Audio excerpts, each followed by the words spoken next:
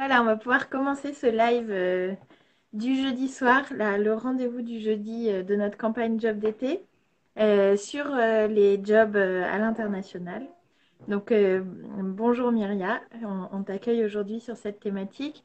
Donc, ce live job d'été, il fait partie de l'opération job d'été qui est organisée par Info Jeune Lyon et par Info Jeune Auvergne-Rhône-Alpes. Donc, c'est une opération pour vous tous qui êtes euh, à la recherche d'un job, qui êtes à la recherche de conseils, d'infos, de bons plans, d'informations. Donc, ce qu'on vous propose, nous, c'est hum, une présence sur les réseaux sociaux avec l'opération Un jour, un job. Chaque jour, euh, il y a une offre euh, qui est mise en avant sur les réseaux sociaux. Euh, c'est aussi des offres sur notre site, donc Info Jeune Lyon. Euh, des ateliers euh, qui ont lieu en présentiel ou euh, à distance, individuel ou collectif. Vous trouvez toutes les infos sur notre site Info Lyon. Et puis, tous les jeudis, on vous propose ce rendez-vous, un live sur Instagram. Et donc, aujourd'hui, on va parler des jobs à l'international. On accueille Myria Durand, qui représente le réseau Information Jeunesse et le réseau Eurodesk, et euh, qui va peut-être nous en dire un peu plus euh, sur, ce réseau qui s'occupe euh, de la mobilité. Bonjour Myria. Oui, bonjour. Oui, Eurodesk, donc c'est un réseau d'information jeunesse européen qui accompagne donc les référents Eurodesk accompagnent les jeunes dans tous leurs projets de mobilité, que ce soit pour euh, un job comme, euh, euh, pour cette émission, mais aussi pour les études, pour un volontariat, même partir sac à dos. En fait, toutes les questions que vous pouvez vous poser sur un projet de mobilité quel qu'il soit, comment l'organiser, où partir, euh, qu'est-ce qu'on peut trouver. Vous pouvez venir nous rencontrer. Donc, vous aurez, euh, euh, tous les référents de, la région, mais aussi de la France sur le site eurodesk.eu. Euh, tous sont à votre disposition pour vous aider dans ce projet-là. Voilà, c'est ça. Donc l'international, c'est bien toute l'année, hein. C'est pas seulement pour les jobs d'été. Mais là, il y a quand même euh, une, euh, une thématique, enfin c'est quand même la grosse actualité du moment, la recherche de job. Et pour tous ceux euh, qui seraient intéressés pour travailler à l'international, il y a déjà peut-être une première question qui se pose. Comment est-ce qu'on se prépare à, cette recherche? Comment est-ce qu'on est-ce qu'on se prépare pour chercher, trouver, faire un job d'été? À l'international, bien sûr? pour, C'est ben, beaucoup de jeunes en ce moment cherchent à, joindre l'utile et l'agréable en pouvant à la fois euh, gagner euh, euh, leur vie et à la fois en découvrant une autre culture, un autre pays. Avant de partir, il faut simplement se poser quelques questions. Une des premières questions, c'est quel est mon niveau de langue? Savoir si on peut exercer un job, quel qu'il soit, dans la langue du pays euh, ce qui peut être parfois compliqué sur certains jobs dans lesquels il y a des contacts avec le public. Ce n'est pas euh, rédhibitoire, hein, euh, il y a d'autres solutions de partir quand on ne parle pas la langue. Mais la première question à se poser, c'est quel niveau de langue j'ai pour pouvoir exercer ce job? Et la deuxième, c'est quelles compétences je peux proposer à un employeur. Et déjà se positionner sur ces deux questions-là pour pouvoir en fait élargir sa recherche. Euh, ça sera la première, plutôt que de partir tout azimut et d'être un peu frustré, c'est répondre à ces questions et ça peut permettre déjà de cibler un peu plus euh, euh, sa recherche. Comment est-ce qu'on arrive à évaluer son niveau de langue? Est-ce qu'il y a des sites qui peuvent nous aider? Est-ce qu'il y a des catégories? Alors, il y a des sites, il y a des applications qui permettent de, de voir si on est euh, en capacité euh, de, bah, de tenir une conversation, de répondre à une conversation. Euh, le plus, le, le- une des, un des tests qui, est, qui semble le plus probant, c'est peut-être de se faire appeler par quelqu'un dans la langue du pays où on veut aller pour voir si on est en capacité de répondre ou en anglais. Évidemment, l'anglais, c'est un peu le passe-partout dans beaucoup d'endroits. Euh, L'idée, c'est de se dire que même si vous n'avez pas un niveau suffisant en langue, à savoir qu'il y a des jobs qui sont proposés où on ne va pas vous demander d'avoir un niveau certifié en langue. Euh, c'est plutôt euh, les jobs qui ne sont pas en contact avec le public. Euh, il y en a plusieurs. Tout ce qui est, par exemple, travail à la plonge, travail dans l'agriculture, ça vous permettra de pouvoir vous, vous insérez déjà dans le pays et cette intégration permettra aussi de commencer à, apprendre à parler. Et si vraiment la, langue est quelque chose de, de, compliqué pour vous, vous pouvez toujours chercher dans un pays francophone. Là, vous n'aurez pas cette question de, de quelle langue je dois apprendre. C'est vrai que l'étranger, l'international, c'est pas forcément une autre langue. Et est-ce que ça, on l'indique sur son CV Comment est-ce qu'on arrive à indiquer son niveau de langue sur un CV Est-ce que c'est bien de le mettre Alors euh, ouais, c'est bien de le mettre, surtout que sur son CV, parfois les employeurs vont vous appeler. Et, euh, euh, et ce qui est vraiment j'allais dire disqualifiant, c'est le mutisme en face, parce que vous n'allez pas arriver à trouver vos mots. Alors, il y a une, euh, une, catégorisation du niveau de langue européenne qu'on peut trouver qui va du euh, C1 euh, au A1 et ça permet en fait de savoir où on se situe par rapport au fait qu'on puisse converser, pour, euh, si on sait euh, discuter dans des termes un peu techniques, si on sait écrire, si on rédige des, des, des courriers. Et là, ça vous permet d'avoir des échelons sur euh, votre capacité en langue, en fait. D'accord. Et par exemple, quand on envoie son CV, est-ce qu'on on envoie deux versions, une en français et une dans la langue du pays qui nous intéresse? Est-ce qu'on envoie seulement dans la langue pour alors, il faut partir du principe que l'employeur ne parle pas français. Ce euh, c'est pas encore la langue la plus parlée euh, au monde.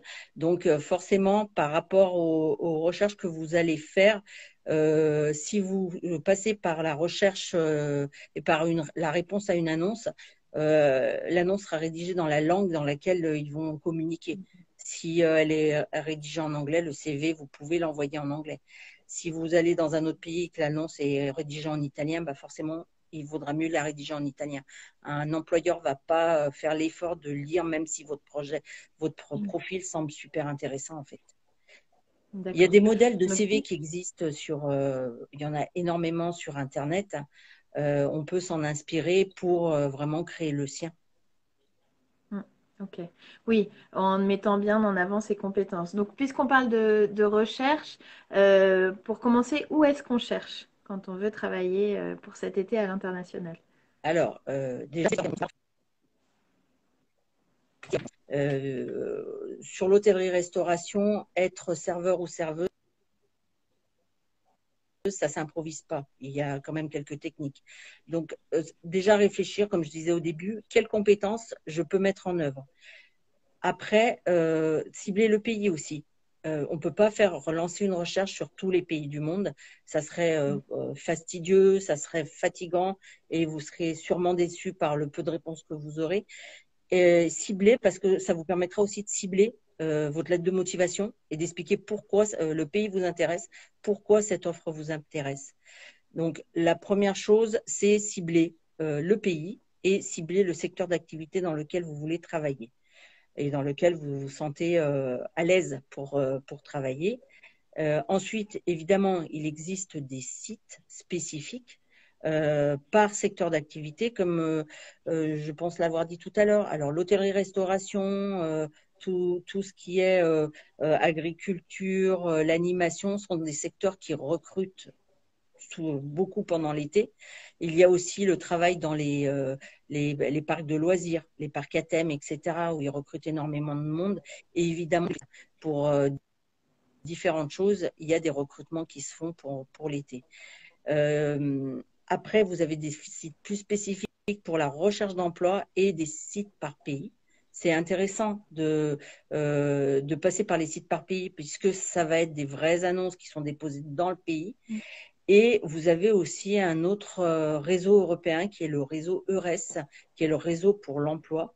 Sur le site du réseau EURES, vous avez aussi toutes les annonces proposées par euh, les agences nationales pour l'emploi des différents pays européens. Ça vous permet aussi de voir où il y a des recherches et d'avoir l'annonce directement.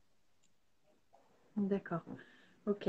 Alors, toutes ces, toutes ces infos, tous ces conseils, euh, je, le redis, on les trouve sur le site euh, infojeune.fr, euh, rubrique internationale, il y a plein de choses. donc, on a des pistes pour chercher. Et maintenant, comment est-ce qu'on comment est-ce qu'on cherche? On fait une candidature Est-ce qu'on relance? Est-ce qu'on essaye de téléphoner? Est-ce que qu'est-ce qu'on met le plus en avant dans sa candidature? Est-ce qu'on fait une lettre et un CV Est-ce que ça c'est seulement c'est typiquement français ou est-ce que ça marche aussi pour les autres pays? Voilà, comment euh, qu'est-ce qu'il faut savoir pour ça? Dans beaucoup de pays, il y a le, CV et la lettre de motivation bah, fonctionnent. Euh, dans certains pays, par exemple l'Italie, euh, c'est vrai que la lettre de motivation décrit plus les compétences plus que dans le CV. Donc il faut vraiment s'adapter aux normes du pays, euh, pas faire une traduction littérale de son CV français. Euh, et dans traduction littérale, il y a aussi le fait de, ne pas traduire ses diplômes, mais bien d'expliquer à quoi ça correspond dans le pays où on va, si on veut les mettre en avant. Euh, mettre en avant toutes ses compétences. Mais quand je parle de toutes ces compétences, il y a parfois des choses que l'on fait. on est bénévole dans une association, on pratique un sport depuis différentes années, on, garde les enfants. et toutes ces compétences-là, il faut les mettre, enfin, toutes ces, petits emplois, il faut les mettre parce que ça permet de montrer qu'on on a des compétences sur certains secteurs. après, il y a plusieurs façons de rechercher un job. Soit euh, vous répondez à une annonce. Donc, sur les sites dont j'ai parlé tout à l'heure, euh, les employeurs mettent leur, leur offre euh, d'emploi. Donc, vous pouvez répondre directement. Vous pouvez aussi opter pour la candidature spontanée. C'est-à-dire que vous savez que dans certaines, certains employeurs, certains magasins vont, euh, vont mmh. recruter, vous pouvez proposer votre, votre euh, candidature directement.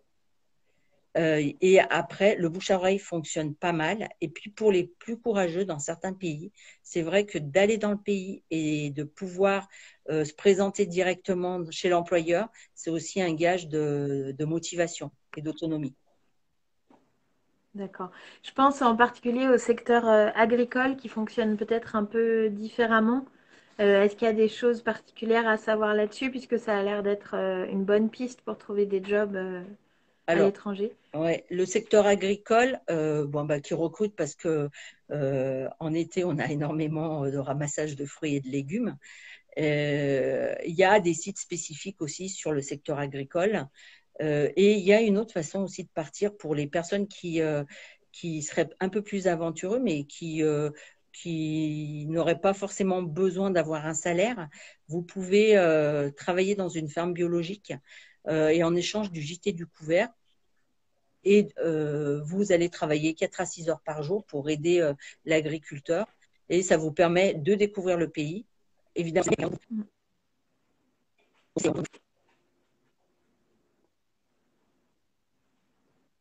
Euh, d'autres plateformes comme Workaway qui proposent ce genre de, prestations.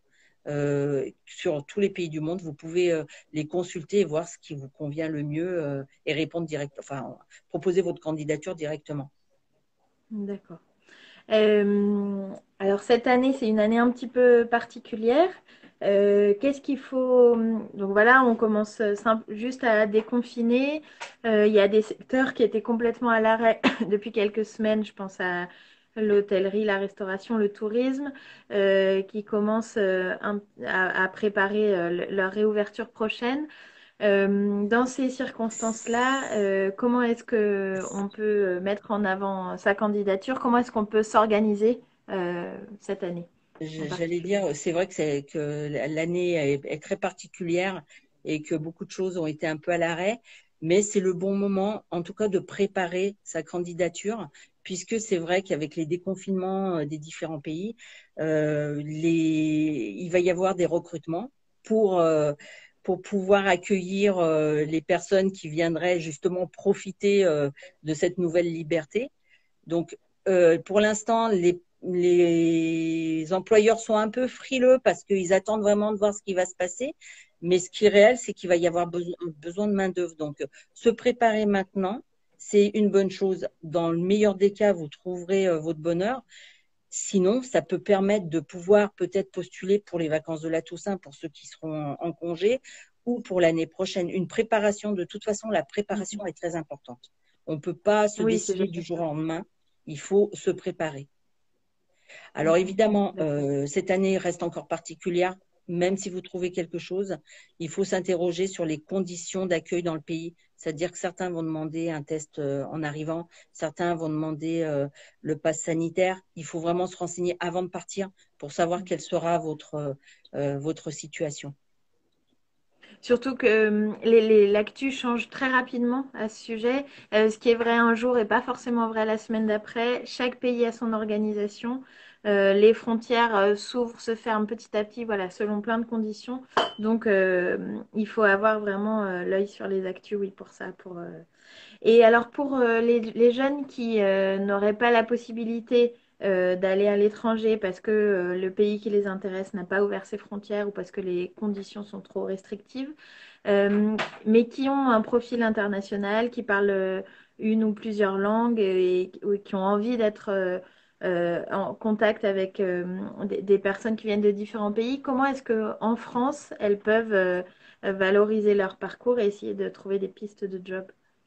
Alors, le secteur de l'animation peut permettre dans des, dans des, dans, des lieux où on accueille des, des internationaux il y a aussi, j'ai parlé des parcs à thème. Alors les parcs à thème, c'est vraiment là où euh, euh, le monde va euh, sans distinction de, ah. de continent et de pays et de mettre en, valeur ça. Et après, il y a aussi, malgré tout, dans l'hôtellerie-restauration, des, des lieux où on demande de parler plusieurs langues parce qu'on sait qu'on va accueillir des personnes qui viennent de différents pays. En fait, en France, ça va être, ça va être un atout supplémentaire euh, pour de parler plusieurs langues dans ces lieux-là. Et donc, il faut bien le mettre en avant. Euh, peut-être que je, je, voudrais rajouter quelque chose par rapport à la préparation, juste penser aussi euh, à la préparation administrative. C'est-à-dire que si vous partez en Europe, en tant que citoyen européen, vous pouvez travailler n'importe où en Europe. Mais si vous partez hors Europe, il y a une préparation supplémentaire, c'est-à-dire demander dans quelles conditions vous pouvez travailler, c'est-à-dire demande de visa, souvent, il faut avoir un passeport récent.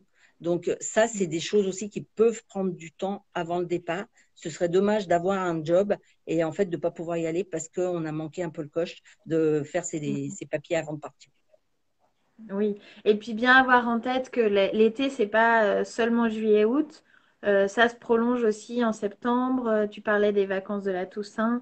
Euh, et, puis il y a même euh, après les périodes des fêtes, etc. Tout ce qu'on prépare aujourd'hui peut servir après euh, pendant une longue période. De, manière générale, pour les personnes qui peuvent avoir plus que juillet-août, je veux dire que c'est un bon point pour eux de pouvoir commencer juin, juillet, août ou de faire juillet, août, septembre, parce que juillet, août, en fait, vous n'êtes pas seulement en concurrence avec les jeunes du pays, vous êtes en concurrence avec le reste du monde. Donc, le fait de mm. pouvoir décaler c'est un bon point aussi euh, dans votre recrutement. Oui. Je crois qu'on a vu pas mal de choses là pour préparer sa candidature. Donc, pas de panique, il faut y aller par étapes. Euh, on fait d'abord le point euh, sur ce qu'on sait faire, sur ce qu'on a envie de faire, sur le pays qui nous intéresse. on essaye de voir un peu à quel niveau de langue on en est. Après, aller chercher des infos sur les différents sites dont Myria a parlé. Euh, vous trouverez aussi toutes ces infos, je le répète, sur le site infojeune.fr. Euh, le lien est dans la bio. Euh, sur, dans la rubrique internationale, il y a plein de choses. Vous trouverez des infos dans vos structures de proximité. information jeunesse, il y a le, c'est des structures qui, se, qui ont aussi des, compétences par rapport au réseau Eurodesk qui peut vous informer. Voilà, je crois qu'on a fait le tour. Euh, Myria, est-ce qu'il y aurait des choses qu'on a oubliées? Est-ce que on a donné pas mal d'astuces et de, bons plans là pour ce job à l'international? Et puis moi, ce que je comprends, c'est que euh, ce qui euh, marche pas cette année marchera peut-être l'année d'après aussi, et que c'est toujours intéressant de se préparer. Et cette préparation sera valable pour quelle que soit la mobilité qui sera envisagée plus tard? Ça sera à peu près la même préparation. Donc, ce n'est pas du temps perdu. Et la dernière chose que j'allais ajouter, si vous avez des questions, n'hésitez pas à nous contacter. On est là aussi pour répondre à toutes ces questions et à vous accompagner, à vous donner les, les meilleures pistes possibles pour votre projet. Oui, c'est ça. Donc, Info Jeune sur Instagram, Info Jeune Lyon, infojeune.fr notre site, Info Jeune sur Facebook. Il y a plusieurs façons de nous contacter. N'hésitez pas.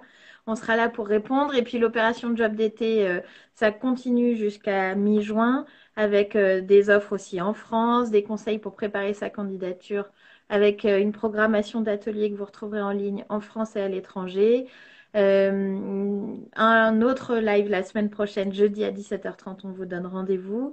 Euh, voilà, c'est l'opération euh, job d'été euh, du réseau IJ. Donc, il y aura aussi vos structures de proximité, si vous n'êtes pas à Lyon, qui organisent plein de choses. Renseignez-vous, allez les voir. Et puis, surtout, bon courage pour vos recherches. Et enfin, merci Myria de nous avoir vous en donné toutes ces précisions. Bonne soirée à À tous. bientôt. Merci.